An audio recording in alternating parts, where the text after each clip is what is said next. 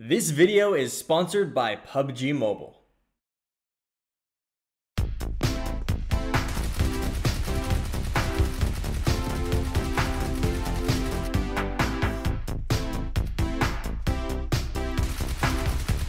Woo! PP Bizon Squad Wipe, baby!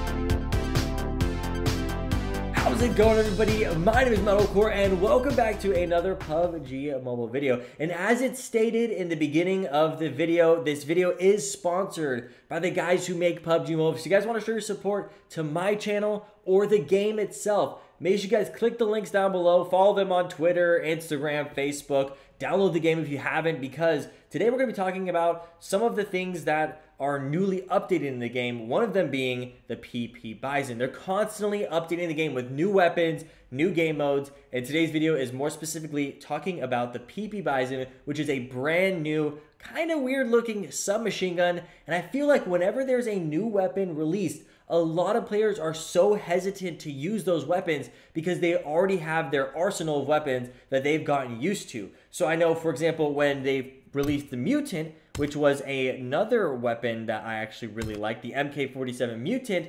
This weapon was very confusing to a lot of people. It was a burst gun, and a lot of people didn't really know how to use it that well.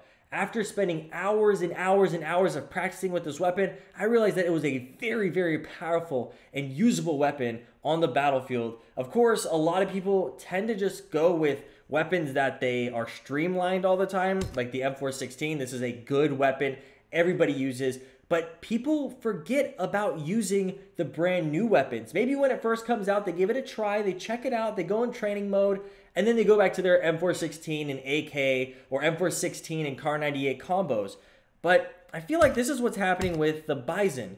But I was so excited when the Bizon came out because I was able to play with the Bizon a little bit before it was released, and I was able to realize how amazing this weapon is. Now, the weird look of the weapon is due to where the ammo is actually held. The ammo is held underneath, and I'll point a little arrow to it, underneath where you're actually holding the weapon. So then when you reload the weapon, you actually reload it while you're holding it. The, the You're basically holding the magazine. It's absolutely insane.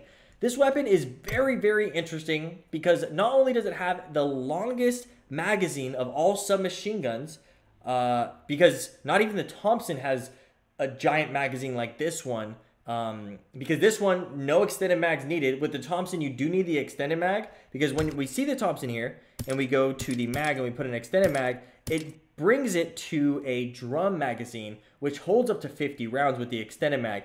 But the Bizon already has a 53 round magazine in it, and you don't even need to have an extended mag. But the weird thing about this gun is that it only has two types of attachments, while a lot of the other guns have more than just the two. You can see here clearly, the Thompson is kind of like one of the ones that doesn't have a ton of attachments you can use on it, but you can see here on the other ones. The Uzi is also kind of one that doesn't have a ton of attachments, um, but the UMP and Vector have a ton. The Uzi has more, the Thompson has more, but the Bizon only has two currently. Now today we're to be talking about my top three tips when using the PP Bizon. And we're gonna start with something very simple, which is just my personal recommended attachments. Now, I know a lot of you guys are expecting gameplay, wanting to see gameplay, but it, there was a reason why I started out on this page rather than showing off gameplay to you guys just completely instantly. Um, and that is because I want to show off the different attachments you can use. Now, like every single weapon that's a submachine gun to an assault rifle that allows you to have a sight on it, you can go all the way up to a six times on the Bizon as well as on the Vector, the UMP, and a lot of the assault rifles and stuff like that. So when I first picked up the Bizon, I asked a few questions, and this is what I normally do whenever a brand new weapon is released. I want to see how I can control the weapon at range if it's a weapon that I would prefer to use at close quarter combat, etc., etc. Now, this weapon has crazy recoil once you start using it at range, and you guys will see this here very soon when I start showing off gameplay. Doesn't mean that this weapon is bad having bigger scopes on it. I would suggest a six times, but bringing it down to a three times magnification or just putting a three times to give you that little extra distance if this is the only long range weapon that you have.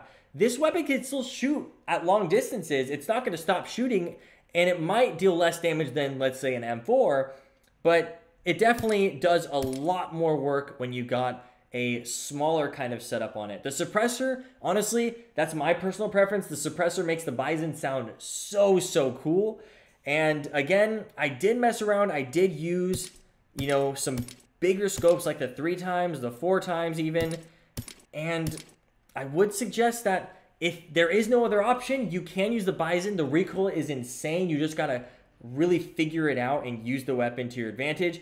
But I feel like unlike other long distance submachine guns, this one can do a lot of work because the Thompson, yeah, it has a 50 round magazine, but you cannot put scopes on it. This one has a 53 round magazine, but you can put scopes on it. So you could shoot at someone really, really far away, miss a lot of those shots, but unlike having a 30, 40 round magazine and you're having to reload sooner, this has a 53 round magazine. So you can hit a lot more shots and knock those targets, which is something that I realized. The Bizon, again, it's a weird weapon, but it's very powerful. Now, my second tip for the PP Bizon is something that I normally wouldn't say to those of you who join my stream and ask questions about certain weapons and go, hey, so what are your recommendations with the M416, this and that? Oh, wh what do you use with your M24? What attachments do you like using for your AWM? And what tips do you have for those weapons? With the Bizon, it's very different, and I normally don't give these tips to anybody else or any other weapon or anything like that, and that is carry extra, extra, extra, extra ammo. Now, not just the normal 200 ammo or the normal amount of ammo that you normally choose, and I feel like the normal amount of ammo that anybody has and keeps and auto loots when they're looting around is around 180 to 200, maybe a little bit more than 200. But with the Bizon, since it shoots so much ammo out in just a short amount of time, I feel like you can squad wipe a team or get into an engagement and waste half of the ammo you have. And this isn't just with 200 rounds. This is if you're saving up 300, 400 rounds of 9mm. So if you really, really want to get into using the Bizon as your primary weapon during that game, you really need to take up a lot of 9mm ammo. And one recommendation is, so you're not wasting all that 9mm ammo, maybe you have a Bizon sniper setup and your Bizon is your very, very close range weapon, very high rate of fire, tons of ammo. If you miss, you're still gonna hit because you're just shooting 53 bullets at an enemy.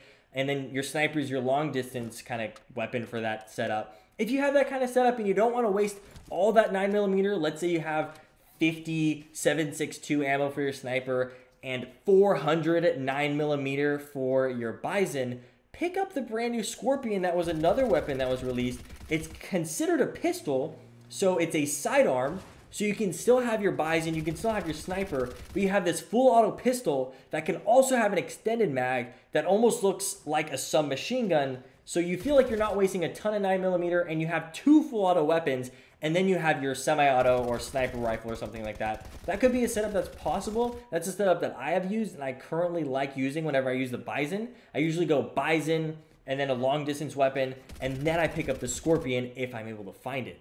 So yeah, tip number two, I would suggest picking up tons and tons of ammo for the PP Bizon. You'll definitely need it.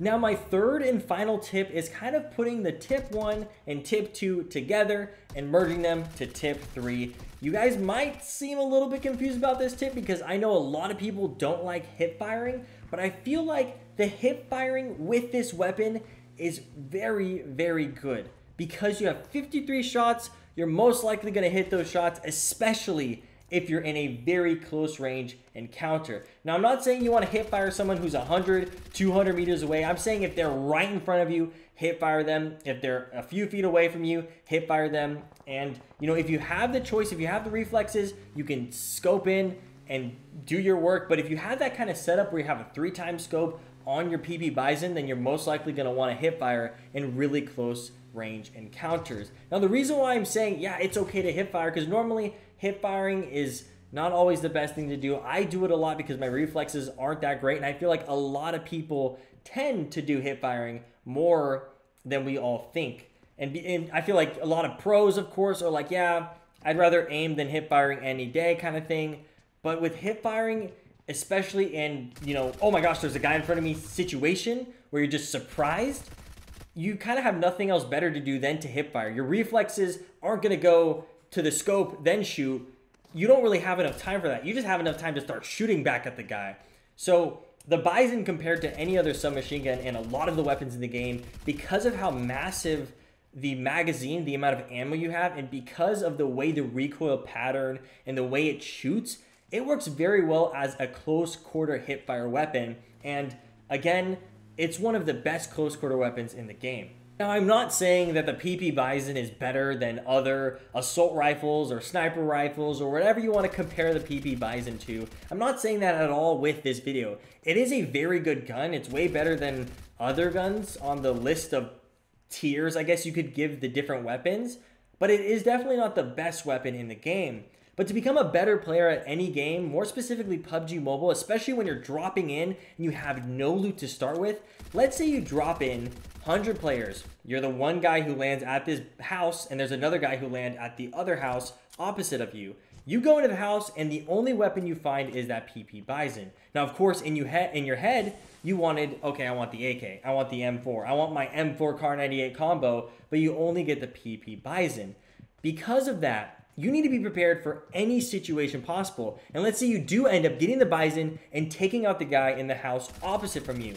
Then he only has a shotgun. You still only have one ranged weapon, which is that PP Bizon. So use these tips to your advantage when you're out on the PUBG Mobile battlefield, and they definitely will prove to be very useful, especially with not just the Bizon, but with any other weapon. Definitely learn new weapons, learn weapons that you're not comfortable with, so that in the future, in situations where you have to be comfortable with them, they'll help you out survive and get that winner winner chicken dinner. Anyways, guys, if you guys enjoyed today's video, if you guys want to show your support to the guys who supported me today, because today's video was sponsored by the people who make PUBG Mobile. So if you guys want to show your support to myself, to the game, click the links in the description below. And also let me know in the comments what you guys thought about today's video. If you guys thought about my suggestions, my tips and tricks about the Bizon. The Bizon's a little bit too big. Wait, maybe we can see it. There we go. You can kind of see the Bizon. He's holding the Bizon, I promise. If you guys liked the content, if you guys enjoyed the tips and tricks, let me know in the comments down below. And if you guys have any more tips and tricks, share them amongst yourselves in the comments down below. I always read all the comments and I would love to reply and see your guys' tips and tricks as well and maybe learn from you guys. If you guys are new here, make sure you guys subscribe to the channel, leave a thumbs up on the video. My name is Medalcore. I'll see you guys later. Goodbye.